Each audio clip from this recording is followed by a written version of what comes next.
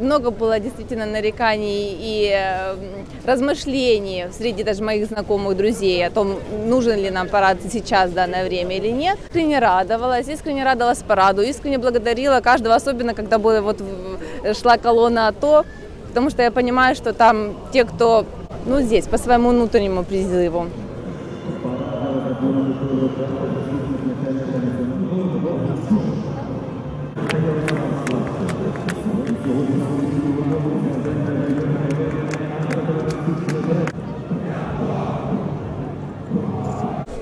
Пускай смотрят, пускай видят. Армия есть, армия существует. Парад нужен всегда, потому что он, ну, во-первых, это и для народа, потому что народ налогоплательщик, он должен видеть, куда он вкладывает свои деньги.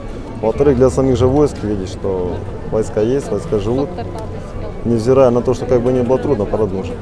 Учитывая тот резонанс, который там вот в Фейсбуке этот парад произвел, мы видим, что он влияет на двух людей. Первое, это те, кто постоянно думает о вооруженных силах Украины, о Нацгвардии, и их это впечатляет и радует, возможность показать второй категории людей, которые, э, в принципе, не реагируют на войну и на то, что там происходит у нас в стране, и танки там, грубо говоря, танки в городе, портящие асфальт, их бесят.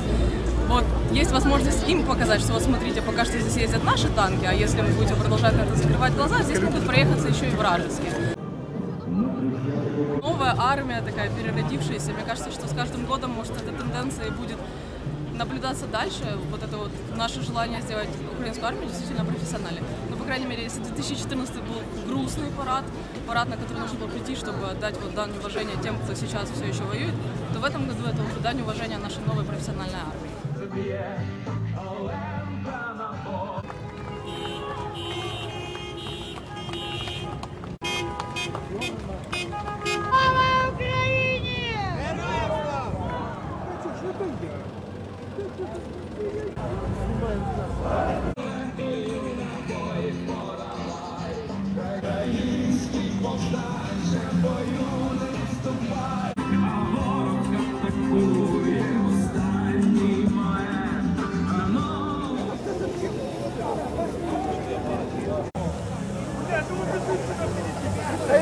Слава нації! Слава Україні! Нехай дійсно Україна буде щаслива завжди.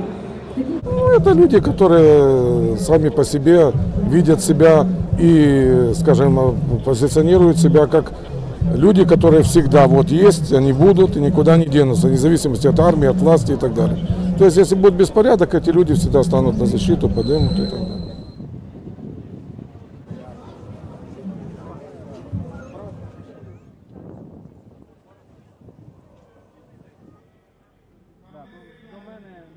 Я не знаю, не впевнений, чи є смисл йти. Десь там за квартал на доходить